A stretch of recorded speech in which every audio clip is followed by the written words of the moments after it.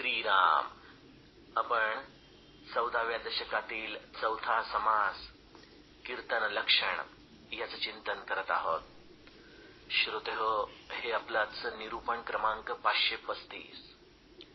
आपण या समासामध्ये निस्पृहाचं कीर्तन कुठल्या विलक्षण आधाराने तो व्यक्त करत असतो. मी आणि भगवंत याच्या पलीकडं ज्याचा या दृश्य जगाशी कुठलाही व्यवहार राहत नाही. अशा या उत्कट निस्पृहाचं कीर्तन समाज जीवनामध्ये किती खोलवर संस्कार करून जात त्यासाठी कीर्तनकाराने आपल्या या भगवत भक्तीत कशा पद्धतीने व्यक्त व्हावं त्याची जणू काही एक नियमावली समर्थ आपल्याला या समासात सांगत आहेत. काल आपण या समासात दहाव्या ओळीपर्यंत आलो. ज्यामध्ये या या या या म्हणावे न लगे या या या या उपाव न लगे. अशा दृष्टीने समर्थांनी कीर्तनकारांच्या भूमिकेकडं जणू काही एक आसूड ओढत आजच्या काळामध्ये जी एक प्रकारे टीआरपी रेटिंगची धावाधाव चाललेली असते त्यावरती जणू काही आग पाखड केलेली आहे. कुणाच्या कीर्तनाला किती गर्दी आहे? यावरून त्या कीर्तनकाराचा दर्जा हा ठरवण्याची एक चुकीची पद्धत या समाज जीवनामध्ये आहे.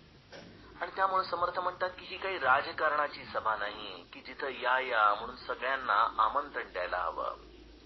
आपण आपल्या कीर्तनावरती आपल्या स्वतःच्या निजतेमध्ये इतकं गुंगून जावं की समोर कित्येक लोक अगदी सहजपणे येऊन बसतील. ज्या पद्धतीने श्री महाराज म्हणायचे की आपण साखर व्हावं मग मुंगळ्यांना आमंत्रण द्यावं लागत नाही. तोच काहीसा गुणधर्म या कीर्तन कलेसाठी देखील लागू पडतो. आता मग उत्तम कीर्तन चांगलं कीर्तन. कीर्तनकाराने स्वतःच्या निजतेमध्ये गुंतणं. याचे काही गुणधर्म समर्थ आपल्याला दहाव्या ओवीपासून पुढे सांगू लागतात. समर्थ माऊली म्हणते टक टक टक करू नये. टाळाटाळी टिकू नये. टमटम टमटम लावू नये. कंटाळवाणी ठस ठोंबस ठाकावेना. ठक ठक ठक करावेना. ठाके ठमके ठसावेना. मूर्ती ध्यान. या समासात मी आपल्यास म्हटल्याप्रमाणे समर्थांनी एक वेगळी थाटणी एक वेगळी शैली एक वेगळं रंजन या दृष्टीने ही कीर्तन कला आपल्यासमोर मांडलेली आहे.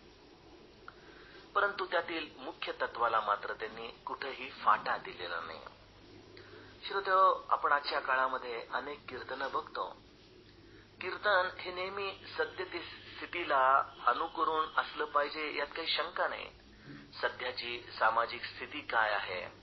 त्याचं वर्णन करून लोकांना भगवत भक्तीकडे वळवण्याचं कीर्तन हे एक अतिशय उत्तम साधन आहे. परंतु कीर्तनामध्ये कित्येकदा एखाद्या कंप्लेंट रजिस्टर सारख्या जर एका मागोमाग एक कंप्लेंट आपण सांगू लागलो हे किती वाईट आहे हे कसं चांगलं नाही आहे समाज कसा भरकटत आहे केवळ अशीच साधत रट लावली तर ते कंटाळवाणं कीर्तन वाटून जातं. लोकांना कीर्तनातून आपलं मन भगवंताशी एकरूप होण्याची एक संधी हवी असते. त्यामध्ये थोडासा विनोद हा देखील आवश्यकच आहे. सध्याची सामाजिक परिस्थितीचं अवलोकन हे देखील गरजेचंच आहे. परंतु आपण बघतो की अनेक कीर्तनकार टीव्हीवरील सिरियल्समध्ये त्या सिरियलची पात्र उभी करून त्यामध्येच बोलण्यामध्ये आपला बऱ्याचदा वेळ वाया घालवत असतात. अनेक लोकांना त्यामुळं हसू आवरत नाही यात काही शंका नाही. परंतु त्यातून कीर्तनाचं मुख्य प्रयोजन हे हातातून निघून जातं. त्यामुळे समर्थ म्हणतात की कीर्तन हे कटकट करण्याचं माध्यम नाही. कीर्तनामध्ये कंटाळ आणि बडबड करू नये. आणि कीर्तनामध्ये रटाळ कुठल्याही प्रकारची फुटबुड लावू नये. त्यामध्ये विनोद असावा परंतु तो विनोद त्यातील उदाहरणं यामध्ये नीटनेटकेपणा हा अत्यावश्यक आहे. बऱ्याचदा कीर्तनामध्ये आपण बघतो की बाहेरचा भपकेपणा हा खूप मोठा असतो. कीर्तनकाराची वस्त्र कीर्तनकारासाठी उभं राहावयाचं स्टेज यामध्ये इतका पैसा खर्च केला जातो. की त्या कीर्तनाच्या भपक्यापोटी देखील अनेकदा त्या कीर्तनकारांची श्रेष्ठता समाज जीवनामध्ये चर्चिली जाते. समर्थ म्हणतात की याने कदाचित बाहेरचा समाज जीवनामध्ये प्रभाव तो पाडू शकेल परंतु जो या निस्पृहाचा अतिशय मनास्वी असा भाव आहे की मी आणि माझा भगवंत त्या भावामध्ये मात्र तो काही केल्या एकरूप होऊ शकणार नाही. त्यामुळे त्याच्या अंतःकरणामध्ये भगवंताची मूर्ती स्थिर होणं ही अत्यावश्यक आहे. आणि ती स्थिर झाल्यानंतर मग बाहेरील भपका असला किंवा नसला याचा त्याच्यावरती कुठलाही परिणाम असू शकत नाही. जो जो कोणी कीर्तनकार या सर्व बाह्यांगाच्या वस्तूंनी बांधला जातो त्याच्या जीवनामध्ये तो या बाह्य प्रभावाच्या आधारानेच कीर्तन करत असतो. परंतु जो अंतस्थ स्थितीशी एकरूप झाला आहे त्या स्थितीशी एकरूप झाल्यानंतर जो स्वतःचा विसर पाडून कीर्तन करत आहे त्याला या बाह्य परिस्थिती असल्या काय आणि नसल्या काय याचा त्याच्या कीर्तनावरती कुठलाही प्रभाव पडू शकत नाही. तिसरी महत्वाची गोष्ट समर्थ कीर्तन शैलीमध्ये आपल्याला सांगतात ती म्हणजे कीर्तनामध्ये आपल्या मतांचा निश्चितपणा असला पाहिजे. आपण बघतो अनेकदा नवेदित कीर्तनकार असतात नुकतेच कीर्तन प्रशिक्षण वर्गातून बाहेर आलेले असतात. थोडाफार कुठल्या तरी एखादं आख्यान अगदी पाठ करून त्यातले प्रत्येक जागा ओळखून ते आख्यान ते लोकांसमोर सादर करत असतात. अर्थात प्रत्येक नवेदित मनुष्य हा या स्थितीमधून जातो यात काही शंका नाही. परंतु समर्थांची अपेक्षा अशी आहे की आख्यानाचं पाठांतर असावं. आख्यानामध्ये आपण ज्या गोष्टी सांगतो आहोत त्या सर्व गोष्टी आपण व्यवस्थित अभ्यास करून सांगाव्यात. त्यामध्ये एक अत्यंत रसाळपणा देखील असावा.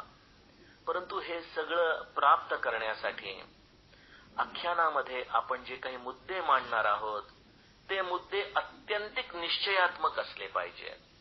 आपण बघतो की बऱ्याचदा आपण इकडचे संदर्भ तिकडचे संदर्भ वेगवेगळे संदर्भ घेतो. आणि या संदर्भाने तो आपला तास दीड तास दोन तास जो काही कीर्तनाचा वेळ असेल तो भरून टाकतो. लोकांचं रंजनीय होतं. त्यामध्ये सद्यस्थितीला अनुसरून अनेक विनोद देखील असू शकतात अनेक कथा देखील असू शकतात. परंतु या सगळ्यांमध्ये जो त्रयस्थ होऊन शांतपणे या कीर्तनाकडे बघत असतो त्याला एक लक्षात निश्चितपणे येतं की हा कीर्तन करणारा जो वक्ता आहे त्याच्या बोलण्यामध्ये निश्चितपणा नाहीये. निश्चितपणाचा हा अभाव बऱ्याचदा हे केवळ वरवरचे रंग भरून जणू काही लोकांचं रंजन करणं याच्या पलीकडं कीर्तनामधून काहीही देऊ शकत नाही. त्यामुळे समर्थ म्हणतात की आपल्या बोलण्यामध्ये अगदी थोर असा निश्चितपणा. आपण प्रत्येक मांडत असलेल्या मुद्द्यावरती आपल्या स्वतःच्या अनुभूतीचा थोडा तरी प्रभाव हा दिसला पाहिजे. पूज्य बाबा म्हणायचे की आपण विचार चोरू शकतो पण भाव चोरू शकत नाही. तशी काहीशी अवस्था कीर्तनामध्ये आपल्याला दिसते की लोक एकमेकांचे विचार घेऊन उधार उसनिवार करून बऱ्याचदा कीर्तन सादर करतात खरं. परंतु त्या विचारांच्या मागचा भाव हा अंतःकरणात उतरला नसल्यामुळं ते विचार मांडताना त्यामध्ये कुठल्याही प्रकारचा निश्चितपणा हा सापडत नाही. आणि जिथं निश्चितपणा नसतो ते कीर्तन देखील बऱ्याचदा कंटाळवाणं होऊन जात. अशा या कीर्तन शैलीचे एक एक गुणधर्म समर्थ आपल्याला या वेगवेगळ्या आणि वाचण्यासाठी अतिशय रंजक असलेल्या ओव्यांमधून सांगू लागतात. कीर्तनाचं एक महत्वाचं अंग आहे आणि ते म्हणजे संगीताचं. संगीत हा या कीर्तनामधला अविभाज्य घटक आहे. आपण बघतो की कीर्तनामध्ये जर केवळ गद्यमय असं कीर्तन असेल तर ते कीर्तन रंग भरू शकत नाही. केवळ अगदी टाळाच्या आधाराने आपण कीर्तन केलं तर कदाचित वाद्यांच्या अभावी कीर्तनकाराच्या आवाजावरती थोडासा ताण येऊ शकतो.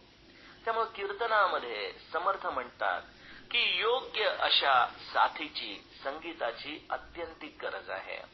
त्यामुळं या संगीताच्या आधाराने या कीर्तनामध्ये या गाण्यामध्ये तंबोरा वेगवेगळ्या प्रकारची तालवाद्य तंतुवाद्य यांचा सगळ्यांचा वापर करून त्या कीर्तनामध्ये असा विलक्षण रस भरणं रंग भरणं हे आवश्यक आहे. कीर्तनाच्या या तानांमध्ये तो प्रत्यक्ष भगवंत देखील मुग्ध होऊन जाईल.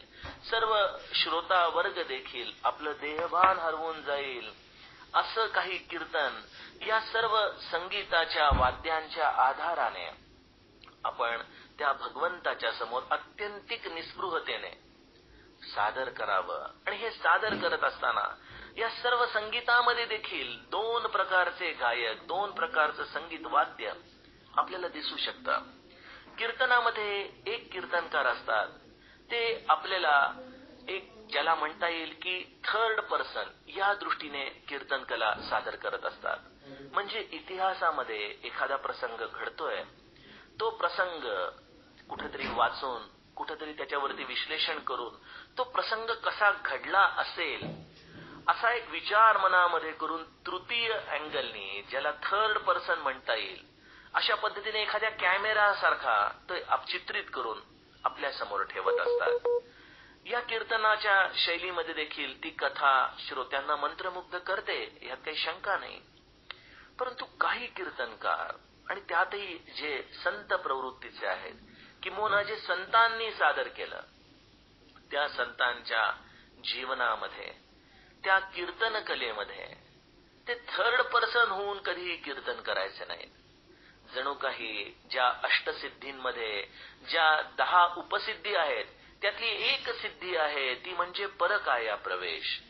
या परकाया प्रवेशाच्या आधाराने ज्याचं आख्यान ते लावायचे ज्या संतांचं चरित्र ते कीर्तनातून मांडायचे जणू काही परकाया प्रवेशाच्या आधाराने ते प्रथम पर्सन म्हणजे ज्याला ते स्वतःच ती व्यक्तिरेखा आहे या भूमिकेमधून फर्स्ट पर्सन या दृष्टीने ते कीर्तनामध्ये त्या व्यक्तीशी एकरूप होऊन जायचंय आणि तिथं श्रोत्यांना चलचित्र बघितल्याचा भास व्हायचा नाही.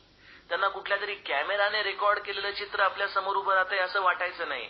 तिथं तो प्रत्यक्ष ते प्रथम व्यक्तिमत्व. जर नामदेवांचे आख्यान असेल तर प्रत्यक्ष नामदेव तिथं त्या कीर्तनकाराच्या रूपामध्ये समोर यायचे.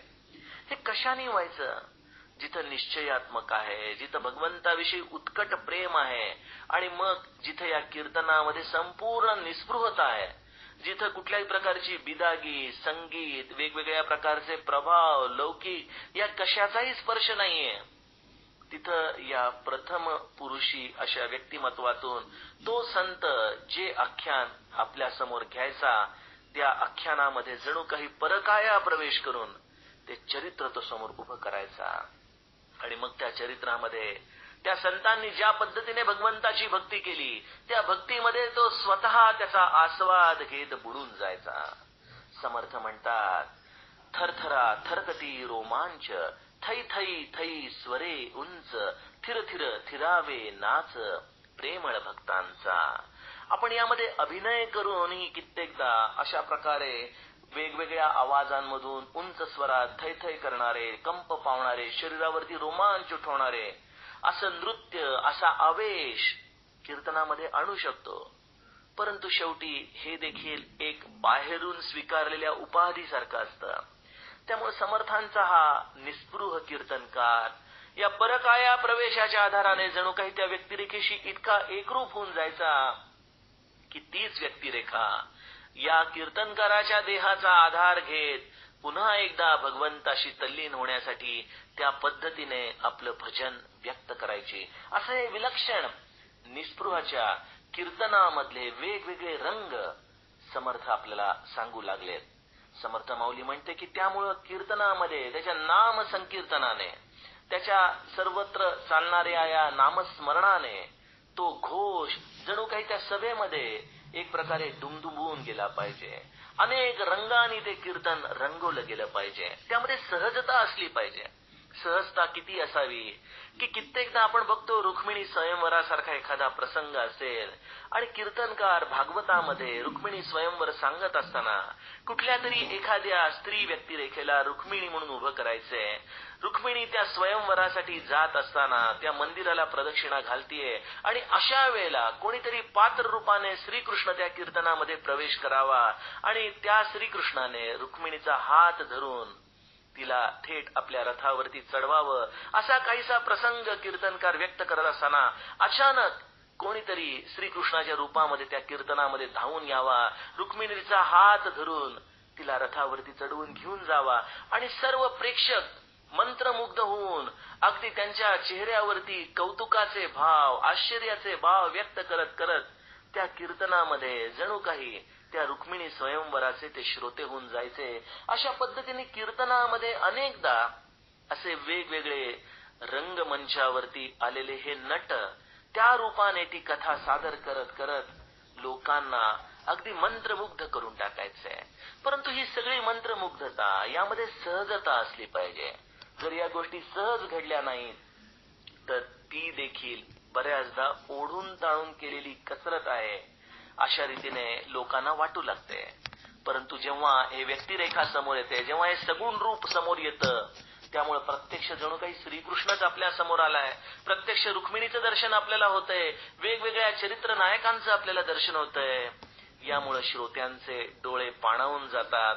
त्यांना प्रत्यक्ष त्या भगवंताचं दर्शन झालं की काय असा सद्भाव मनामध्ये निर्माण होतो. आणि त्यांचं पुण्य प्रगटतं. त्यांना भगवंताच्या विषयी विलक्षण प्रेम निर्माण होतं. हाच श्री समर्थांच्या निस्पृहतेच्या कीर्तनकाराचा आविर्भाव असतो. समर्थ म्हणतात त्यामुळे निस्पृहाने कीर्तन असं जोशामध्ये पण सहजतेने करावं. अत्यंत रसाळ करावं. त्यामध्ये प्रेम ओतप्रोत भरलेलं असावं. आणि ते कीर्तन निश्चयात्मक असावं. उगीच काहीतरी विनोद करून किंवा फुगडी पिंगा यासारख्या कुठल्या तरी गोष्टी खेळून काहीतरी फुसकी व्यर्थ बडबड करून कीर्तनाचा बेरंग करू नये.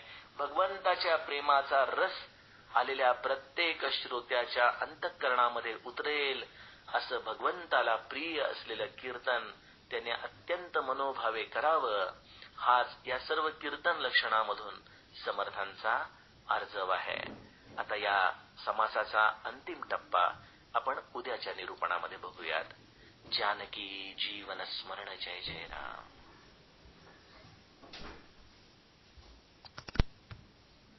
श्रीराम आपण चौदाव्या दशकातील चौथा समास कीर्तन लक्षण याचं चिंतन करत आहोत. श्रोते हो, हे आपलाच निरूपण क्रमांक पाचशे छत्तीस. आपण या निरूपणाच्या आधाराने आज या समासाचा निरोप घेणार आहोत. कीर्तन लक्षण या समासामध्ये निस्पृहाचं कीर्तन कशा पद्धतीने तो व्यक्त करत असतो? मी आणि भगवंत याच्या पलीकडं सर्व दृश्य जगाचा विसर पडलेला.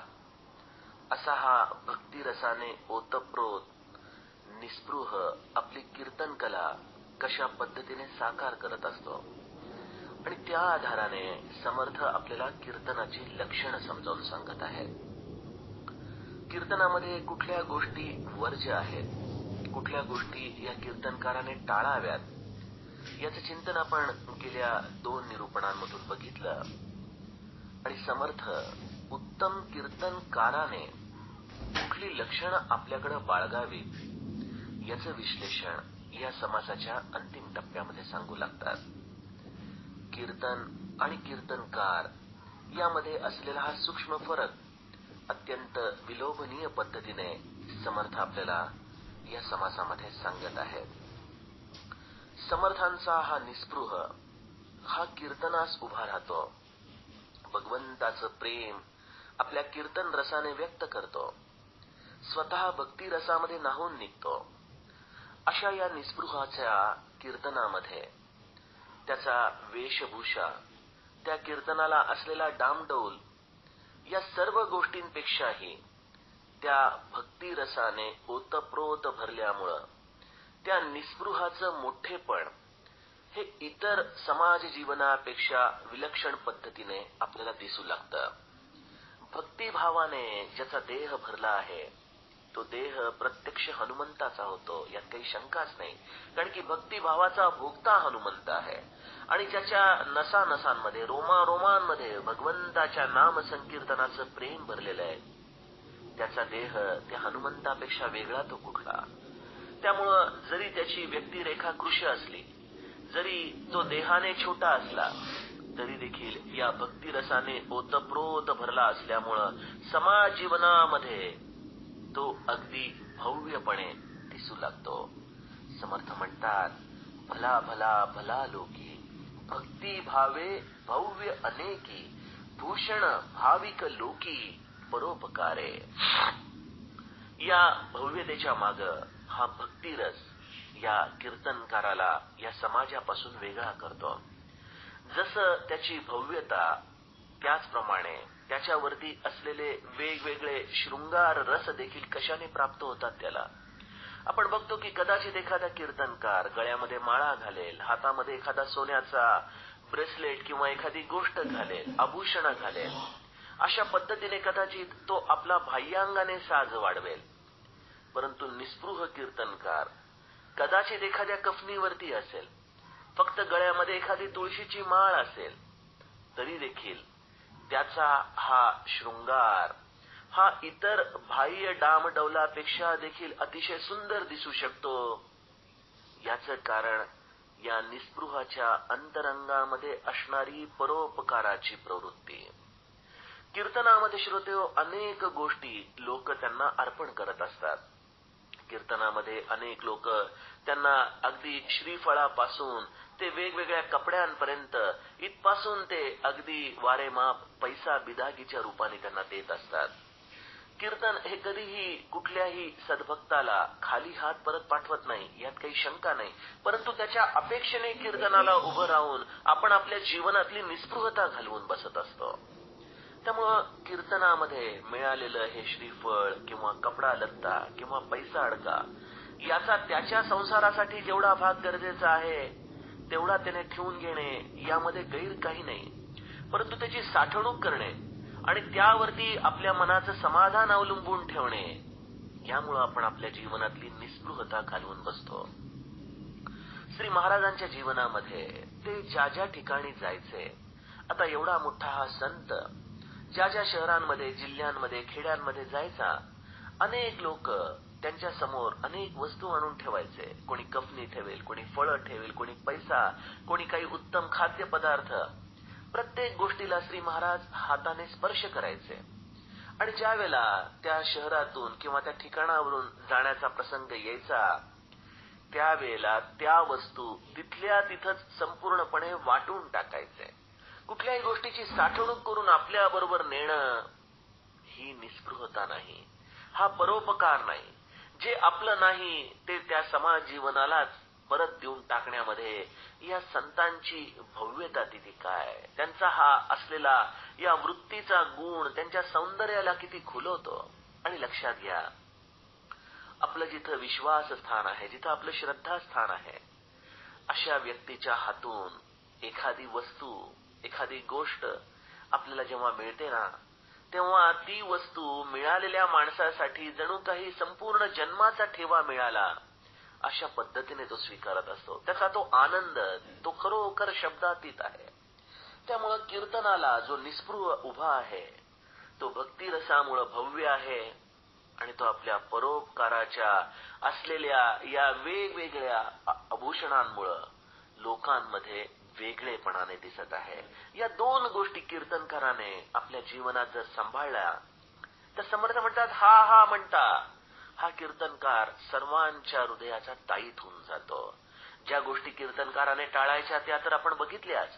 त्या गोष्टी टाळून जो परोपकारामध्ये रत आहे जो भक्तिभावाने आपल्या या तन मन देहाने भगवंताला अर्पण झालेला आहे असा हा कीर्तनकार कुठल्याही क्षणी कोणालाही हवासाच वाटतो. प्रत्येक जण त्याला बाबा बाबा म्हणून त्याची सेवा करण्यासाठी तत्पर असतात. त्याच्या मागं पुढे जणू काही लोकांचा लवाजमा असतो. त्याची कशा पद्धतीने आपल्याला सेवा करता येईल? याविषयी सर्वच जण तत्पर असतात.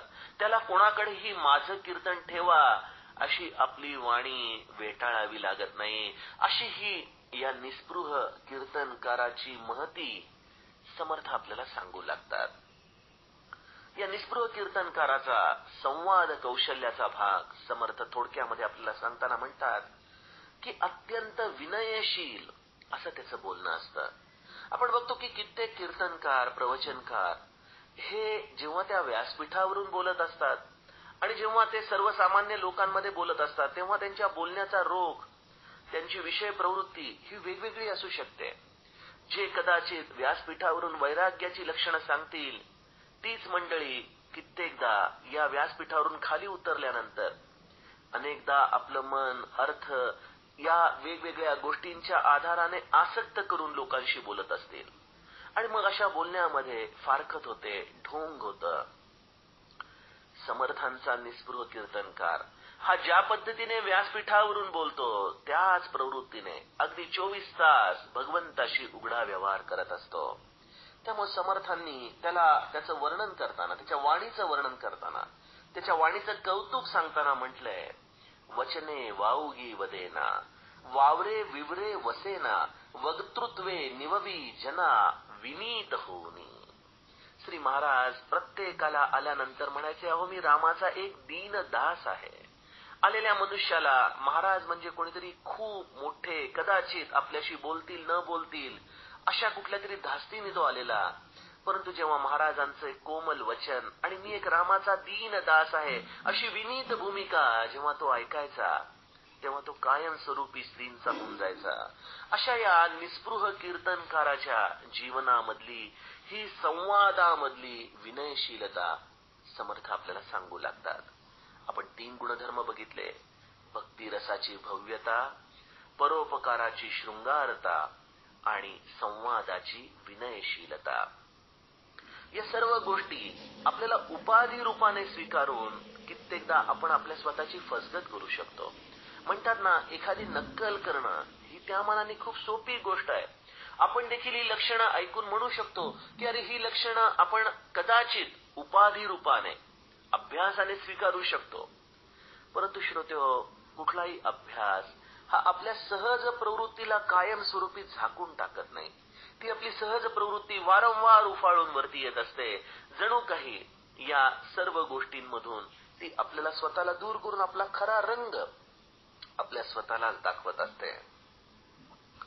समर्थ म्हणतात या निस्पृह कीर्तनकाराची लक्षणं अंतरंगामध्ये बांधण्यासाठी आणि ती आपली सहजता होण्यासाठी या निस्पृहता निस्पृहासारखं आपल्याला या दृश्य जगाचं खरं स्वरूप कळालं पाहिजे.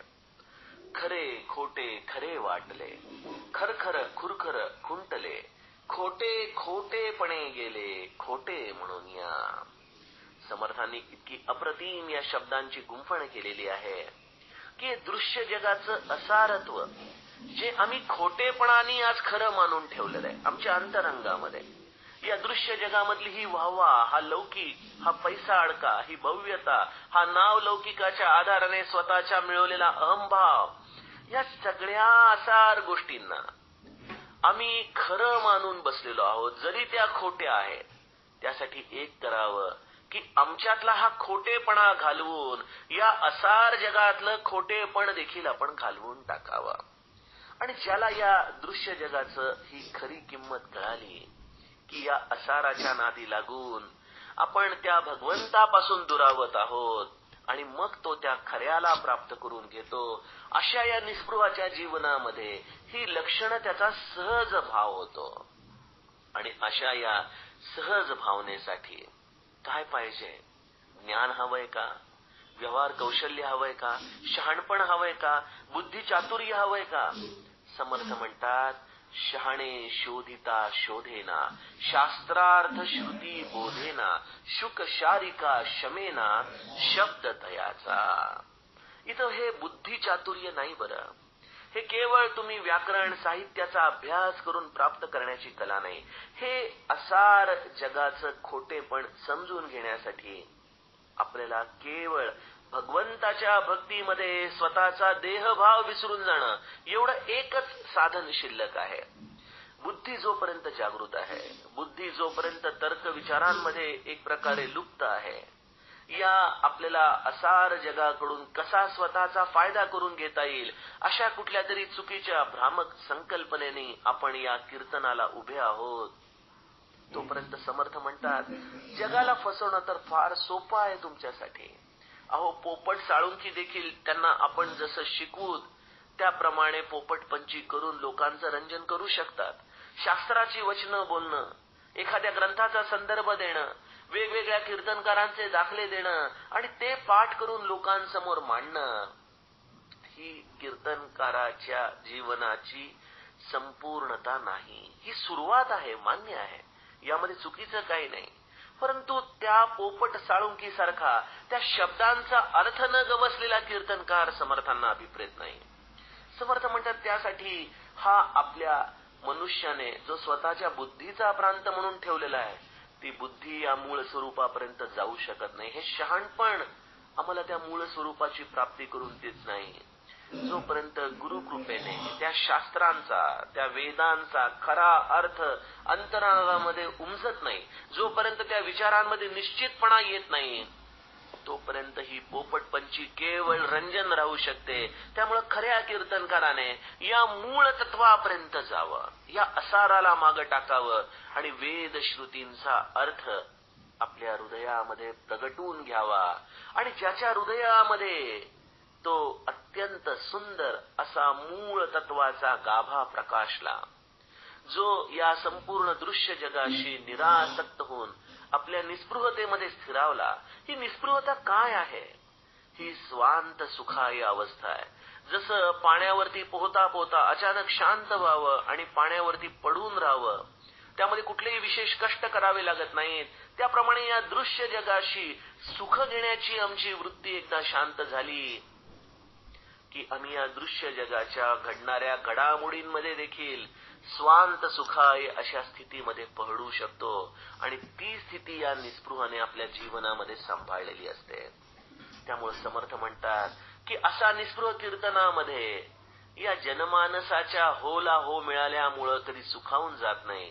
केवळ पाचकळ विनोद करून लोकांना हसून या कीर्तनाच्या आधाराने लोकांचं रंजन करत नाही. तो उभा राहतो तो केवळ आपल्या रामासाठी.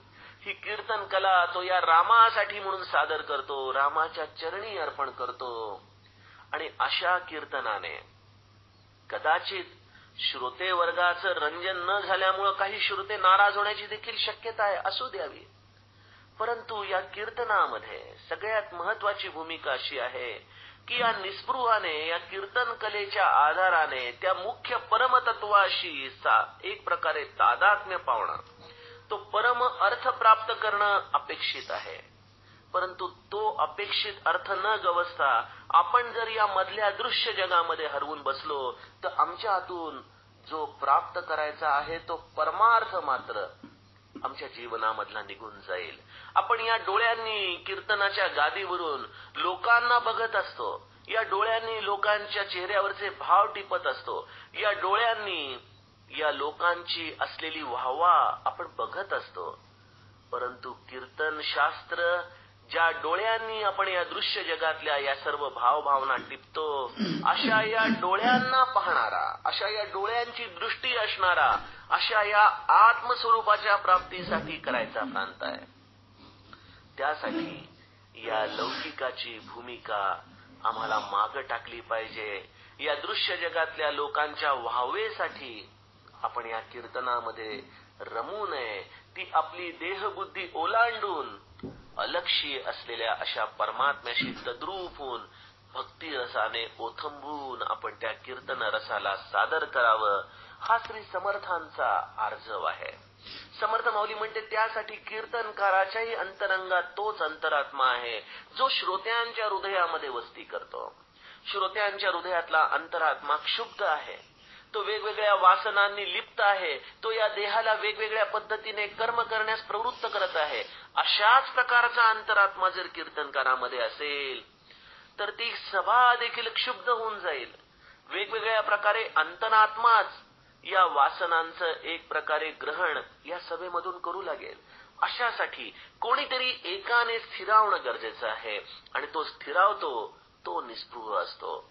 अशा या निस्पृहाने आपल्या अंतरंगातला हा विकारवान झालेला आत्मा जो अंतरात्म्याच्या रूपाने आपल्या वासना एक प्रकारे प्रगट करत असतो अशा या अंतरात्म्याला शांत करावं आणि मग तो शांत झाल्यानंतर सभा देखील या अंतरात्म्याच्या शांत असलेल्या अधिष्ठानामुळं समाधानामध्ये लय होऊन जाते असं कीर्तन प्रत्यक्ष भगवंत देखील ऐकायला उभा राहतो अशा या कीर्तनकाराच्या जीवनातले समर्थांनी आपल्याला वेगवेगळे गुणधर्म सांगितले.